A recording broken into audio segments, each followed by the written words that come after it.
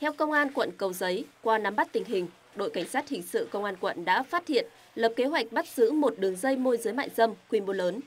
Đối tượng cầm đầu được xác định là Hoàng Duy Hưng, sinh năm 1990, trú tại thị trấn Sơn Dương, huyện Sơn Dương, tỉnh Tuyên Quang. Tháng 11 năm 2022, Hưng thuê máy chủ đặt tại nước ngoài, thanh toán bằng tiền ảo, tiền điện tử và đặt website với nhiều tên gọi khác nhau. Trên các website này, Hưng có quyền cao nhất cho đăng tải hình ảnh của hàng trăm gái bán dâm cùng số điện thoại để khách mua dâm liên hệ. Sau đó thực hiện hành vi mua bán dâm tại các khách sạn, nhà nghỉ tại Hà Nội và các tỉnh, thành phố khác. Không có nhà cung cấp nào cho phép những cái nội dung mà đối trụy thì phải mua máy chủ ở nước ngoài. Mỗi máy chủ thì thường là random cứ hết chu kỳ sẽ có một cái link mới để vào cái máy chủ mới. Khi có khách gọi đến thì nhân viên trực tổng đài sẽ nhận phòng. Khi có khi khách đã lên phòng thì sẽ báo lại bên bên đầu gái để bên ấy điều hành gửi gái lên. Để vận hành các trang môi giới mại dâm Hưng thuê một căn nhà 5 tầng biệt lập tại xã Ba Hiến, huyện Bình Xuyên, tỉnh Vĩnh Phúc để hoạt động. Hưng ngụy trang bằng cách chỉ giao dịch bằng các tài khoản ảo không chính chủ và liên lạc với đồng bọn thông qua ứng dụng mạng xã hội Telegram. Hưng còn cài đặt chế độ đọc xong tự xóa, không để lại dấu vết. Có một đối tượng cầm đầu sử dụng quản trị trang web và cài đặt kỹ thuật.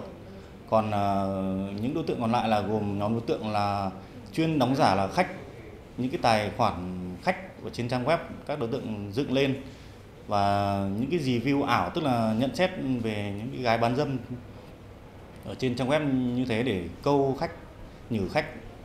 Nhưng thực chất là những cái hình ảnh và những cái câu view ở trên trang web của các đối tượng đặt ra là đều là ảo hết. Tự ổ nhóm ờ, lăng xê lên. Và còn những cái đối tượng còn lại là những cái đối tượng là trực tiếp nghe máy, sử dụng những cái số điện thoại trên trang web theo cơ quan công an, các website và các diễn đàn Hoàng Duy Hưng cùng đồng phạm lập ra đã thu hút gần 2 triệu lượt người tham gia với hàng trăm triệu lượng người truy cập, thu lợi bất chính khoảng 3 tỷ đồng. Cũng là một lời cảnh báo đến với tất cả những cái ờ, giới trẻ từ học sinh sinh viên cho đến ờ, ờ, thanh thiếu niên và đặc biệt là kể cả có những người có những cái khách mua dâm là có cả công chức cảnh báo với cái càng ngày thì cái ờ, cái cái, cái, uh, việc mà ảnh hưởng của mạng xã hội những trang mạng xã hội. Từ đó thì cũng đã cũng có những cái về cái công tác quản lý là rất khó khăn. Thế tuy nhiên là phải hết sức cảnh giác với cái những, những chiêu trò tổ chức rồi chiêu trò chiêu dụ khiêu dâm rồi mời chào ở trên những trang mạng xã hội.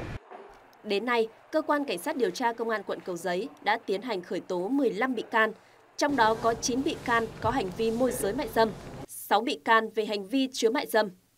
Tội phạm mại dâm vẫn đang diễn ra hết sức nhức nhối và phương thức thủ đoạn ngày càng tinh vi.